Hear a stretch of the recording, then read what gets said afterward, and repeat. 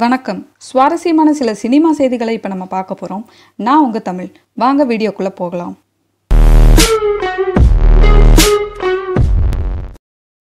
இயக்குனர் ராஜமௌலி இயக்கத்தில் நடிகர் பிரபாஸ் நடிப்பில் வெளியான படம் தாங்க பாகுபலி.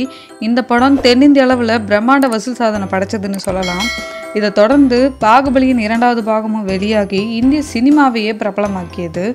இந்த படம் தாங்க இந்திய அளவில் அதிக வசூல் செஞ்ச திரைப்படங்களில் ரெண்டாவது இடத்துல இருக்குது இந்த நிலையில் தற்போது இந்த பிரம்மாண்ட கூட்டணி மீண்டும் இணைய இருக்குங்க.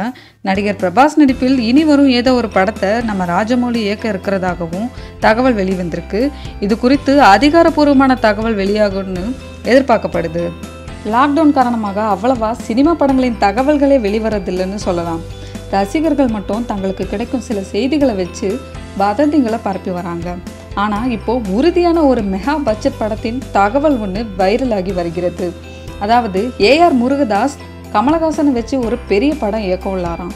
அந்த படத்தில் தெலுங்கு சினிமாவின் முன்னணி நடிகர் மகேஷ் பாபு உள்ளாராம்.